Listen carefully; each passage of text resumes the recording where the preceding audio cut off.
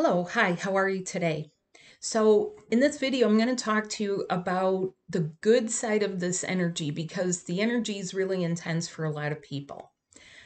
The good side is it's opening the door for a lot of divine connections to actually take place in the physical. So, for some people, this is going to be what you've worked on for 10 years, what you've worked on for 20 years.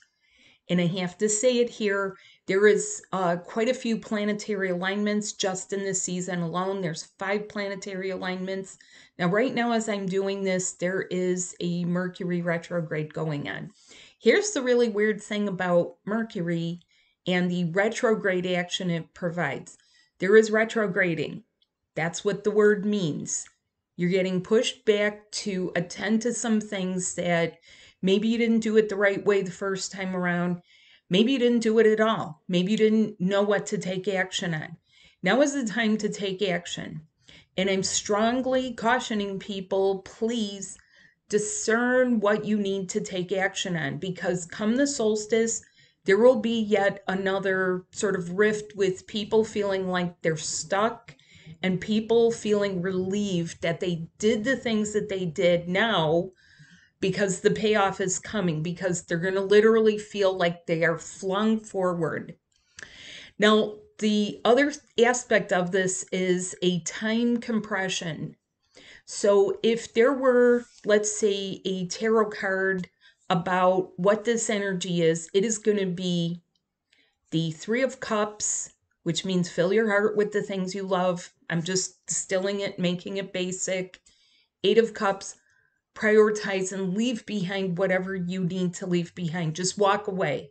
And I'm going to say it like this please walk away from those pretend soulmate relationships, those karmic soulmates, your false twins. Walk away, walk away, walk away. Cut the connection. Stop looking, stop imagining. It's probably not going to serve you whatsoever, no matter what you've been trying. Hope is a good thing when you're on a journey, but at some point, hope needs to turn into action. So if you've been hoping beyond hope, beyond hope, and I'm going to tell you right now, if you're lacking the discernment that it takes to really tell who a person is to you, because this is where the playing field gets leveled. Everyone's here to apologize, give back, give back what they took from you. And if that's been their role in your life and you're having trouble letting them go, please get some help from me. Okay, please do something. That's when it's time to take the actions because it will wind up hindering you and leaving you stuck and making you feel like you've wasted time. And I I'm only going to say it like this.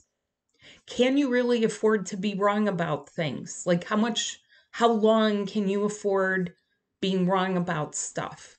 Are there things that that person owes you? Is there something that, you know, like you should be beyond the karmic lessons? We have repeated those again and again and again. So that is what this energy is about when you just walk away and you leave certain things undone, you leave it half finished because you know what? You're never going to finish that project. Okay. The other one is Wheel of Fortune. Hey, the world is your oyster. As you let go, many more things can open up for you. And that's a big part of the energy that is coming in right after the solstice. So if you think that the world is going wild now and trying to break free and like, you know, throw things off and make changes, this is a time when positive changes and actual action plans have to move into place. It needs to go from the chaos and the drama to actual what is the plan? What are we going to do? How are we going to do it? And that means leadership. That means people in leadership roles, people who actually can advise you on what to do, people who can tell you how to get healthy. I'm one of those people. If you're not incorporating your light body, you're missing out. Okay. If you're leaving it at the stuff of the mind, like pendulums and numbers, you're going to find at some point that that doesn't serve you because your soul is helping you to outpace that stuff. so that it literally can come through your body and that you are a living, breathing channel of development and growth and positivity and love. Okay.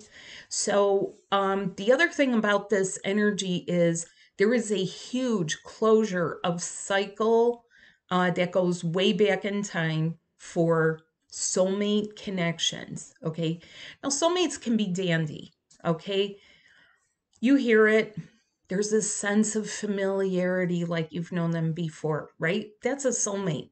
But sometimes they're like an old dingy slipper that you've had there and you just slip it on when you come and it's just another grungy thing around your house.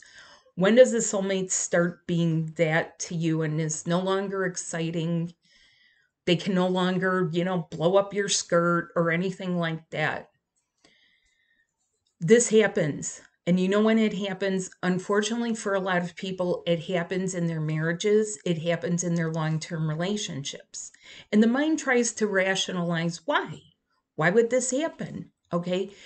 People are making a living trying to keep those soulmates together, but in the bigger picture, there's actually someone better.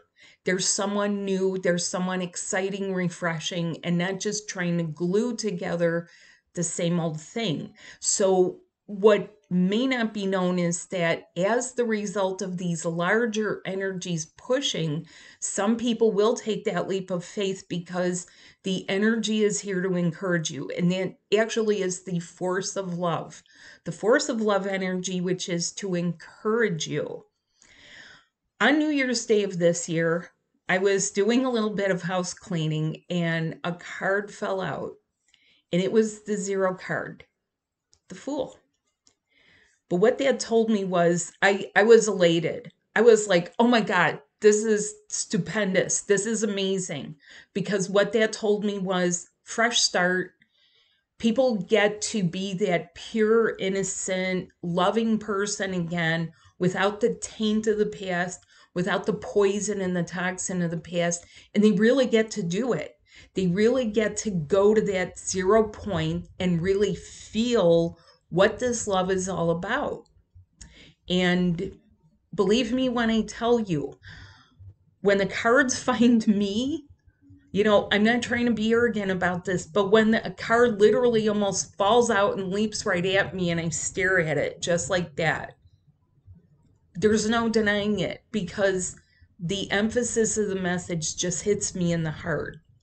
And this is one of the differences that uh, people learn through my work is where you're feeling beyond any reasonable doubt that what it is, what it means, what is the message for you, what is the crystal clear message just for you.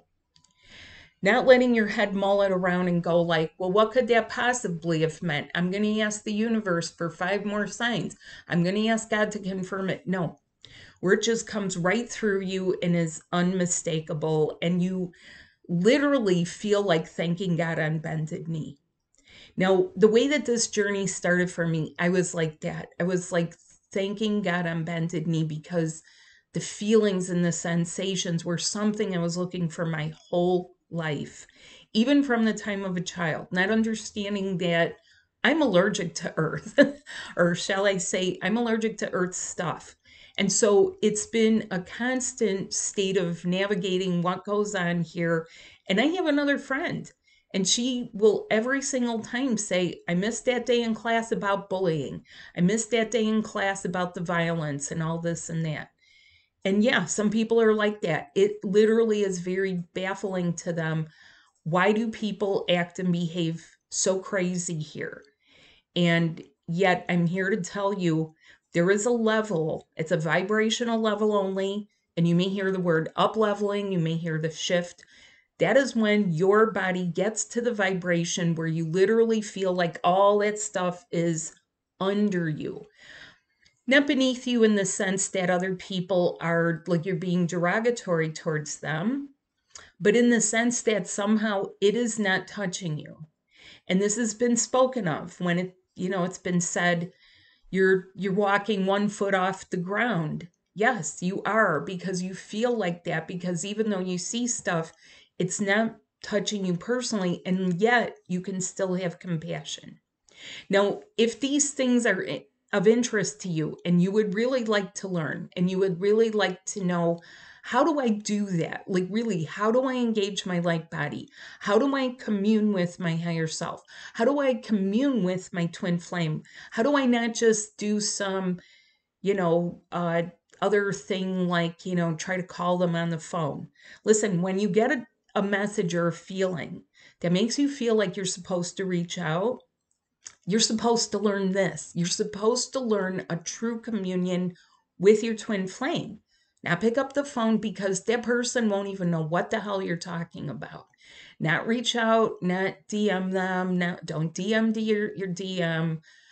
Chances are they're not going to because you have to have to connect on another level and make that connection because that is truly how we communicate in this other level and in 5D.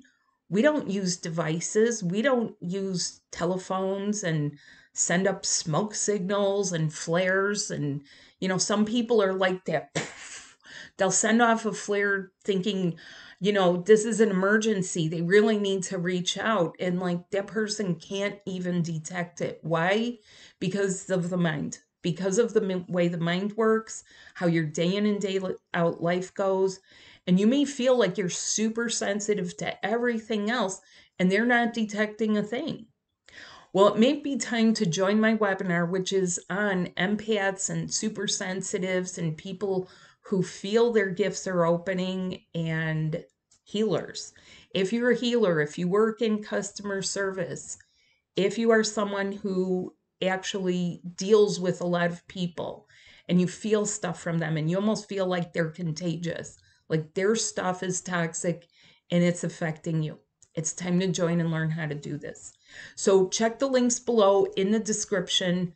Yes, I do one on one coaching. Yes, I do one on one sessions and we do group webinars. I do one almost every month. I will also be in Boston at the end of May. So if you're in that area, um, I will. I'm trying to arrange a some kind of uh, meetup, so I hope that uh, that would work out. But if you have questions, reach out, okay? Because there is a whole new level of ease that you can have for your journey. I specialize in it and I specialize in getting you to feel some really high level experiences of what you should feel because that that that is the hope that it continues that takes you beyond hope. It's no longer blind faith you're literally experiencing it. So hope you have a good day and hope to see you there. Bye